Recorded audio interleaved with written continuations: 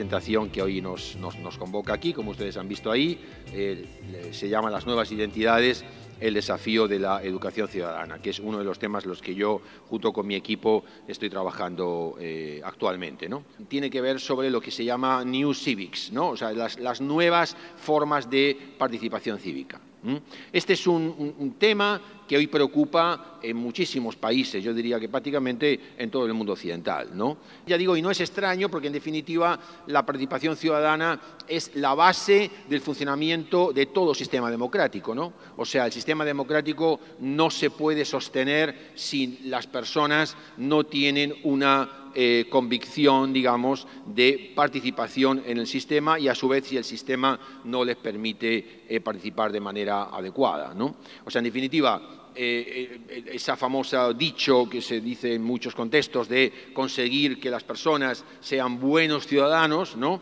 pues realmente es algo que se enseña, que se construye, como luego veremos, que se digamos, vehicula a través sobre todo de la escuela, no únicamente, pero sobre todo de, la, escuela, y es fundamental para, ya digo, la fundación del sistema democrático que eso se logre. Bueno, lo, primero que nos encontramos hoy, yo creo, es que lo que era la identidad en el sentido del ciudadano que tenía una identidad en un sistema eh, de, una, de una, como decíamos antes, de una eh, democracia, cada vez se concibe más como múltiples identidades. Pero de una cosa estamos convencidos, los investigadores, ¿no? Es que la identidad es finalmente un proceso de construcción, o sea, que la identidad es construida, a pesar de que a todos nosotros nos parece que es eh, esencial. Este proceso de construcción va a ser muy importante discutirlo porque nos va a dar lugar a una serie de paradojas, digamos, muy interesantes que generan realmente muchos desafíos para el mundo de la educación.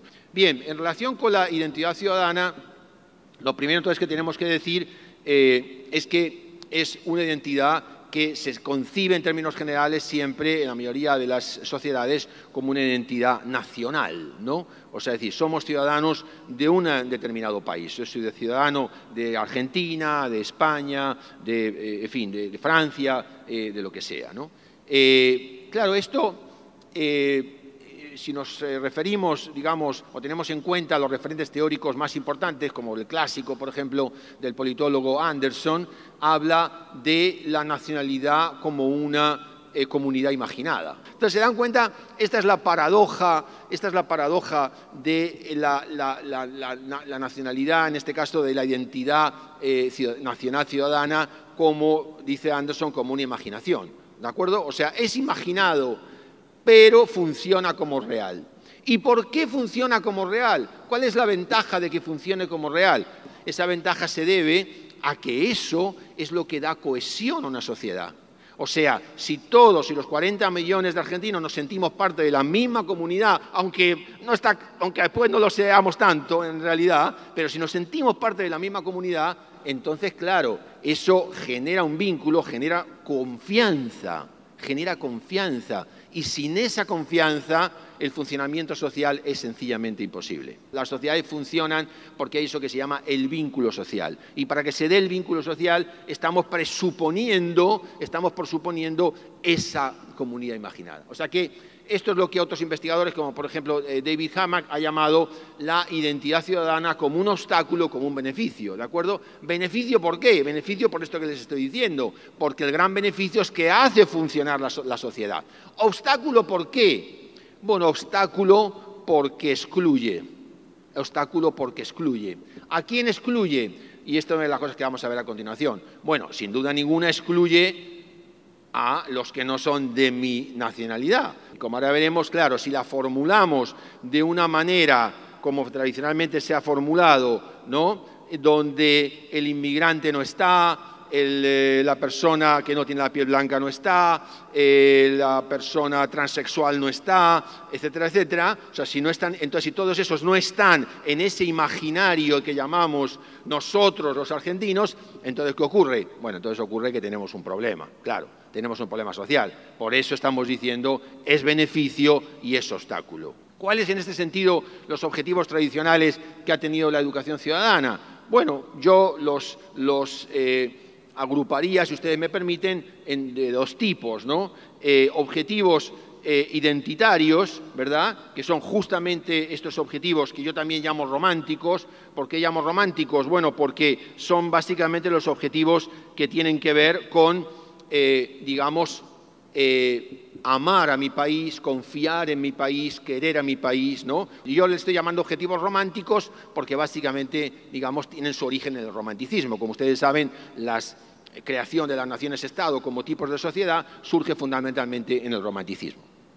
Pero tenemos al mismo tiempo unos objetivos disciplinares. Aquí estoy llamando objetivos disciplinares o también ilustrados, porque en la ilustración justamente aparece el espíritu crítico. ¿Y cuál sería el espíritu crítico que subyace a esos objetivos disciplinares? Bueno, serían los objetivos relativos no solo a querer a mi país, sino a criticar a mi país. ¿Y por qué a criticar? Bueno, porque todo conocimiento disciplinar me lleva a la crítica, indefectiblemente. ¿Se dan cuenta ustedes? Entonces aquí tenemos la diferencia entre la comunidad imaginada y la comunidad real. Bueno, la gran pregunta que aparece ahí entonces es, como ustedes ven, son compatibles, ¿no? ¿Son compatibles los objetivos románticos con los objetivos ilustrados? ¿Son compatibles los objetivos identitarios con los objetivos disciplinares? ¿Es compatible amar a mi país, pero al mismo tiempo criticar a mi país?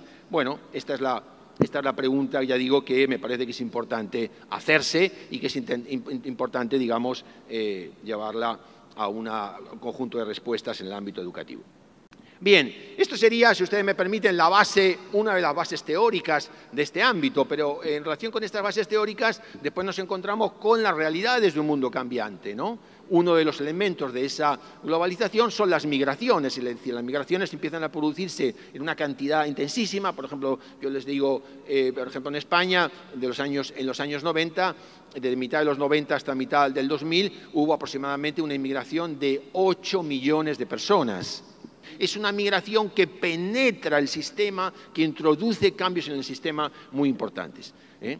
Eh, y luego, por último, nuevas identidades, ¿no? Nuevas identidades. Le acaban nuevas identidades incluso en lo personal, en lo sexual, por ejemplo. Entonces, eh, ¿por qué estos elementos van a cuestionar lo que hemos entendido tradicionalmente por identidad ciudadana? Bueno, como les decía antes, ¿no? Porque la identidad ciudadana estaba considerada tradicionalmente identidad ciudadana eh, nacional, identidad, nacional, identidad eh, ciudadana nacional y de unas determinadas características, como, como, ahora vamos a ver. Y entonces empiezan a aparecer estos nuevos fenómenos, por ejemplo, fíjense, las migraciones. Las migraciones significan que millones de niños, por ejemplo, de esos 8 millones de inmigrantes que llegaron a España, aproximadamente 2 millones y medio son niños. ¿eh? Son niños, esos niños van a la escuela ¿de acuerdo? Y van a la escuela y entonces vienen con un trasfondo que no es el español. O sea, van ya a la escuela y a lo mejor ya tienen 5, 10 o 12 años. A menudo, o por ejemplo, no conocen a lo mejor el idioma, muchos de ellos son norteafricanos. Es decir, todo eso genera, ¿no? genera toda una serie de desafíos a los cuales la sociedad tiene que responder. O sea, la sociedad lo que no puede es mirar para otro lado, ¿no? Entre otras cosas porque si se mira para otro lado, eso va a generar finalmente conflictos peores, ¿no? O sea, es decir, resulta más sensato tratar de enfrentarlo, tratar de ver cuál es el problema y tratar de ver cómo, por ejemplo, en este caso desde la educación, pensamos cómo se responde ante esos problemas. Ya ya les adelanto que a mí me parece que esto afecta no solamente a lo que podríamos llamar problemas periféricos de la escuela, ¿no? Es decir, no a que, decir, como sería, por ejemplo, que la escuela tenga más alumnos o menos alumnos, o tenga que hacerse más deporte o menos deporte. No, no, no, no. A mí me parece que esto, ya les adelanto, yo creo que esto afecta a la concepción misma de la escuela. A mí me parece que esto afecta a la idea misma de cómo organizamos la escuela. O sea, las ideas que yo le voy a, mostrar a continuación van en la línea no solamente de que pongamos más clases, más horas de educación ciudadana o menos horas de educación ciudadana o materiales educativos de mayor o menor calidad para la educación ciudadana. No, no les estoy hablando de eso o no les estoy hablando solo de eso. Les estoy hablando fundamentalmente o quiero compartir con ustedes fundamentalmente la convicción de que lo que esto implica es una nueva concepción de escuela, una nueva concepción de escuela. ¿Por qué estoy tan seguro de esto? Bueno, muy, sencillo, ¿no? Porque ya digo, definamos como definamos la identidad, de lo que no cabe la menor duda es que ninguno de los que estamos aquí seríamos, podríamos hacer nada ni seríamos nada en el mundo, si se me permite la expresión, si nos quitan nuestra identidad. Podemos renunciar a muchas cosas. Podemos perder eh, plata, podemos perder un trabajo, podemos perder, eh, ojalá que no, o sea, un ser querido, pero nuestra identidad nuestra identidad es algo que no podemos perder. Sin eso, esa es la base de todo. Pero esa identidad no es esencial, no es esencial, no viene en el ADN, no viene del cielo, no cae como una fruta madura, se construye, se construye. Y la escuela es el dispositivo el dispositivo o uno de los dispositivos más importantes para construirla. Vamos a, discutir muy rápidamente, digamos, cómo han cambiado, ¿no? cómo han cambiado a la par, a la par que se han ido produciendo estas transformaciones, cómo también los teóricos sociales han cambiado su manera de entender la identidad. Entonces yo creo que, en primer lugar, tenemos una eh, incorporación muy importante de la teorización en torno a las identidades locales o regionales. O sea, yo no solamente ya soy argentino, no solamente soy español, soy eh, catalán o soy de, esta, de este pueblo o de esta región y eso tiene, empieza a ser una un asunto eh, importante para la propia escuela y de hecho los propios libros de texto, por ejemplo, empiezan a cambiar, ¿no? empiezan a hacerse libros de texto, ¿no? por ejemplo, en México pasa de hacerse un, solo libro de texto, digamos, sobre eh, eh, las identidades sociales mexicanas y empiezan a hacerse multiplicidad de libros según la región, según las provincias, según los estados, en realidad, en, México según los, según los estados. Bien, fíjense el otro, elemento, el otro elemento que cambia, que desde mi punto de vista no, sé si es más importante, pero en todo caso es tan importante como, es tan importante como la anterior. ¿no? La propia teorización de la identidad, la propia teorización de la identidad, vamos a citar a una autora paradigmática como es Fraser, ¿no? Eh, se sitúa ya, por ejemplo, en una famosa conferencia suya en la Universidad de Stanford en el año 98, como una caracterización de la identidad ya no en términos de redistribución, o sea, ya no en términos de redistribución de la riqueza, que era la discusión clásica antes de la mitad de los 90, ¿no? O sea, es decir, pobres frente a ricos, explotadores frente a explotados, eh, eh, proletarios frente a, patronos, eh, oligarcas frente a trabajadores del campo, etcétera, etcétera, ¿no? Ya no era ya empieza a no ser esa la discusión. La teorización no es, en, términos de distribución de la riqueza, o sea, de necesidad de redistribuir la riqueza. La discusión ya es en términos de reconocimiento, de reconocimiento. Yo soy transexual, o yo soy indígena, o yo soy gay, o yo soy lo que fuere, y tengo, o yo soy paralítico cerebral y tengo el mismo derecho, y tengo el mismo derecho a que se reconozcan mis necesidades que los demás. Y mis necesidades no son las mismas que las de los demás. No me dé usted, si se me permite la expresión, café para todos. ¿eh? Yo tengo una necesidad de movilidad, por ejemplo, yo soy autista, por ejemplo, ¿eh? o yo tengo una necesidad de movilidad porque soy paralítico cerebral. Entonces, me tiene usted que colocar rampas en todas las veredas, en todas las entradas, en todos los colegios, porque si no me condena usted al ostracismo. Ah, bueno, pero es que yo tengo un colegio de 500 chicos y solo tengo un paralítico cerebral. Bueno, como si tiene uno, como si tiene 100. O sea, es decir, lo que cambia, se dan cuenta ustedes, es que soy un sujeto cívico, soy un sujeto cívico y tengo el mismo derecho ojo, Fraser no está diciendo que las luchas por la justicia social en términos de reconocimiento, en términos de redistribución, no estén conectadas. Por supuesto que están conectadas y a menudo tienen muchos puntos, digamos, de eh, relación. Pero eso no quiere decir que no las distingamos. Y es muy importante distinguirlas porque esto es lo que efectivamente va a caracterizar, o mejor dicho, no solo va a caracterizar, va a ser el elemento teórico que va a permitir distinguir discutir, que va a permitir teorizar sobre los nuevos movimientos sociales, como por ejemplo va a ser el, feminismo, los movimientos relativos a la igualdad eh, sexual, eh, los derechos étnicos, etcétera, etcétera. Por lo tanto, me parece que la escuela tiene que prepararse para esto y, como les decía antes, yo creo que tiene que prepararse para esto en un sentido no solamente de añadir elementos periféricos, de añadir aditamentos periféricos, sino de repensarse, de repensarse. Yo creo que en este sentido, ciudadanía y escuela, como ustedes saben, en realidad son dos elementos de la misma ecuación, ¿no? O sea, la escuela en realidad, como todos sabemos, surge históricamente precisamente como una constructora de eh, ciudadanías, ¿no? Eh, y como una constructora precisamente de generar igualdad. Es decir, la escuela proporciona, si no todas las mejoras en igualdad de oportunidades que quisiéramos que ofreciera desde una mentalidad progresista, sí proporciona las mejoras que el sistema le permite proporcionar de alguna manera. ¿no?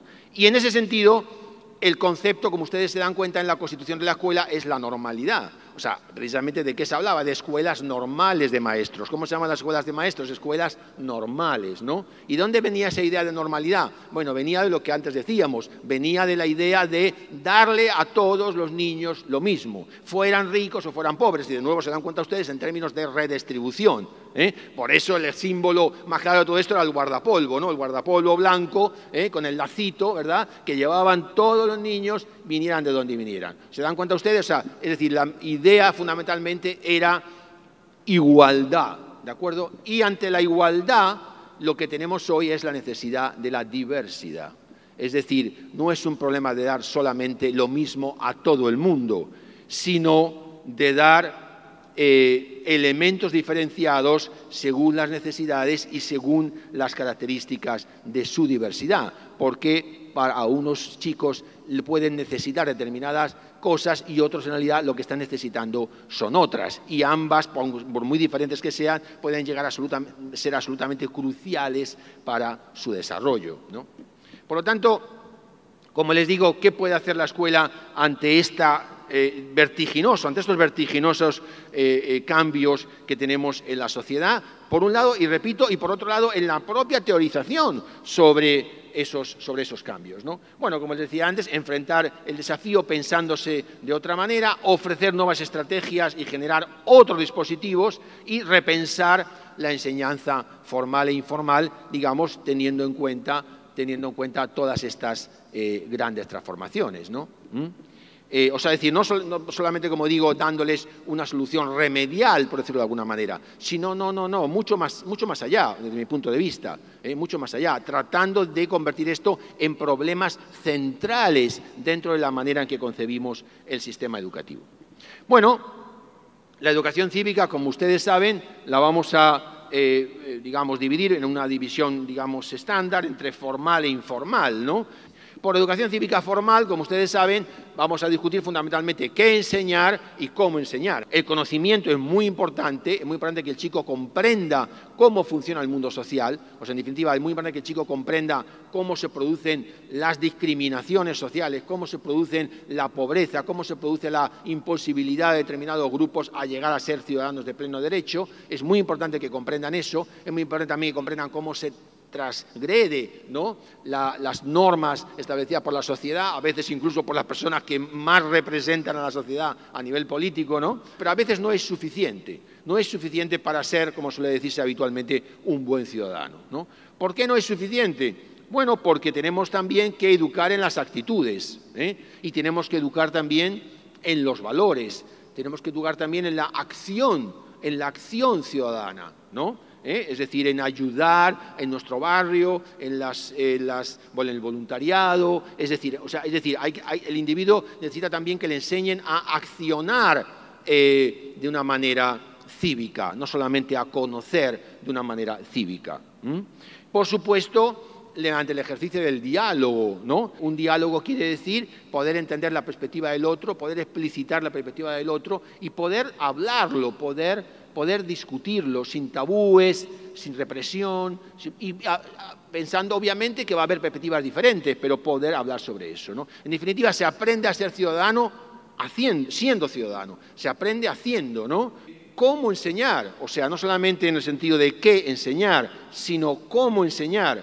Bueno, evidentemente esto va a pasar por enseñar analizando información, ¿no? Es decir, a menudo los contenidos de la educación cívica, ya digo, como se ha visto la, educación, la, idea de ciudadanía como inmutable, y no es inmutable, es construida, ¿no? Es construida. Entonces es muy importante analizar sus orígenes, analizar por qué es así, analizar que hay diferentes conceptos de ciudadanía, etc. Bueno, dentro de este gran proyecto que yo les decía a ustedes antes, eh, está la investigadora Diana Hess, que ha sido precisamente durante muchos años directora de la Fundación Spencer ¿eh? en Estados Unidos, cuya investigación específica, la suya, no ya como directora de la Fundación, sino la suya, es precisamente sobre la importancia y las consecuencias pedagógicas de la discusión de temas controvertidos, de temas controversiales, llama ella, en la clase.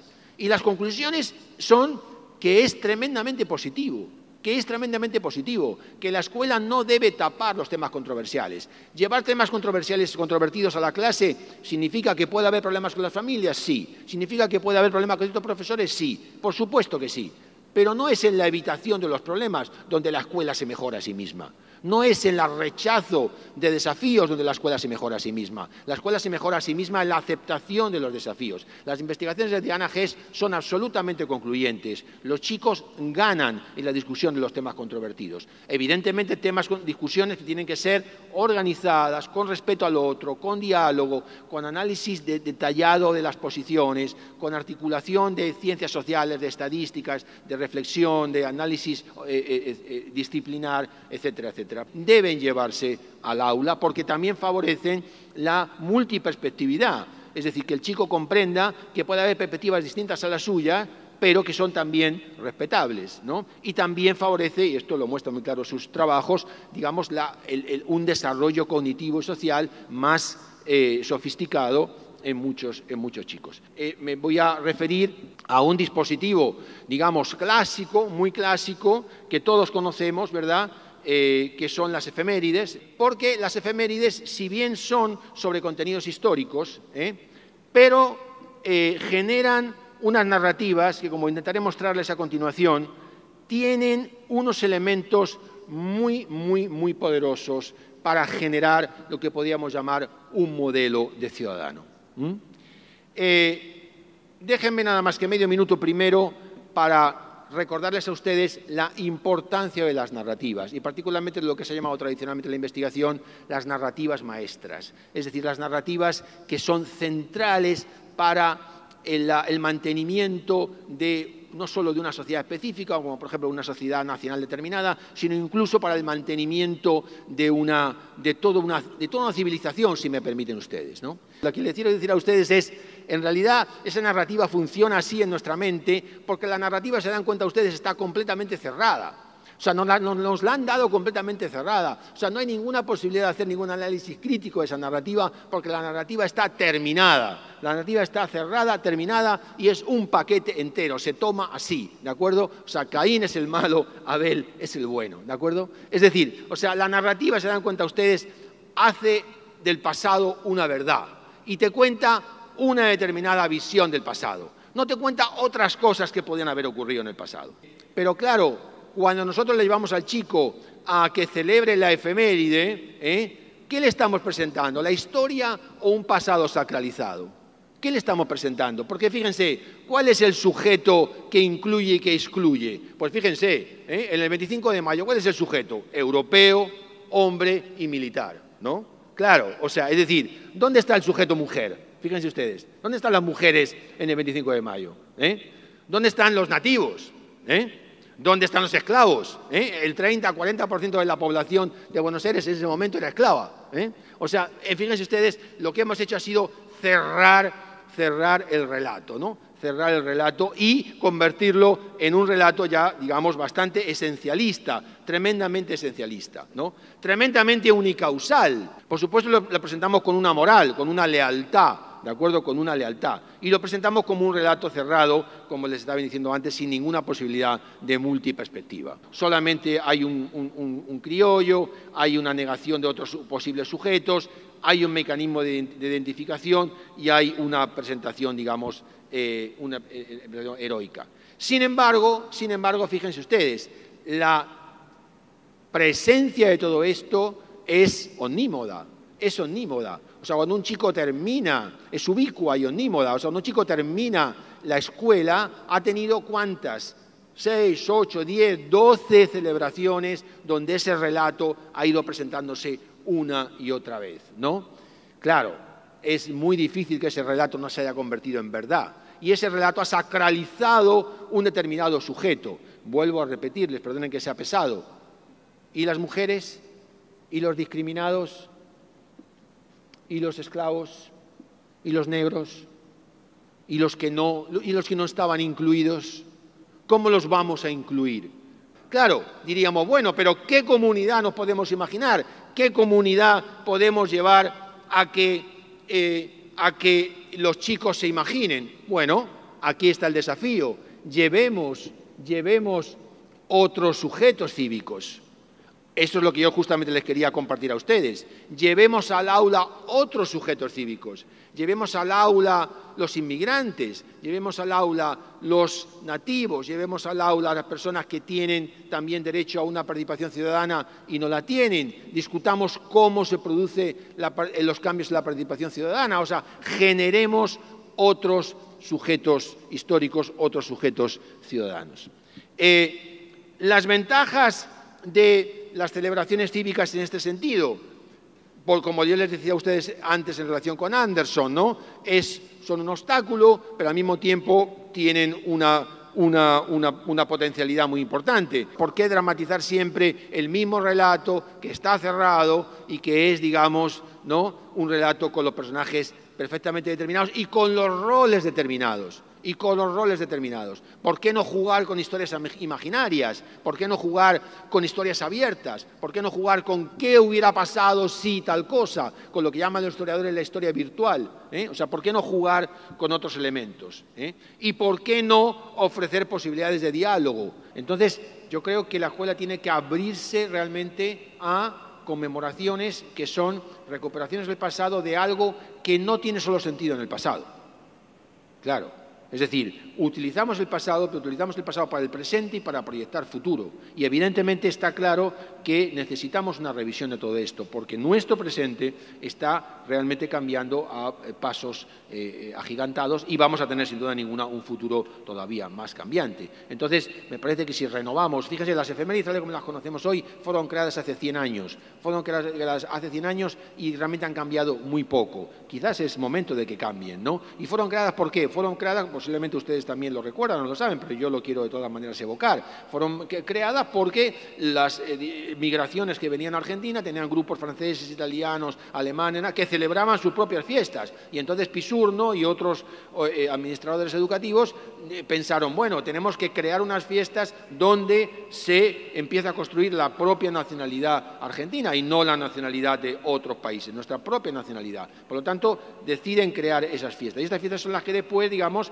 empiezan a constituirse como eh, actos, digamos, prácticamente obligados en las escuelas. ¿Por qué no cambiarlas? ¿Por qué no cambiarlas? Y ¿Por qué, ¿Por qué, habría que cambiarla? Muy sencillo, porque nuestra sociedad ha cambiado. O sea, no, no es que nosotros estemos diciendo que cambiemos algo, eh, digamos, eh, no, es que, lo que, es que nuestra sociedad ya está cambiando, nuestra sociedad ya ha cambiado.